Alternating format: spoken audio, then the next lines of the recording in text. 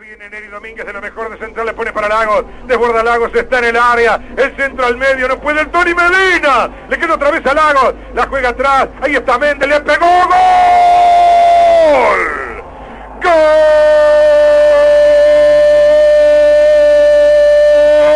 de central! ¡Gol de Rosario Central!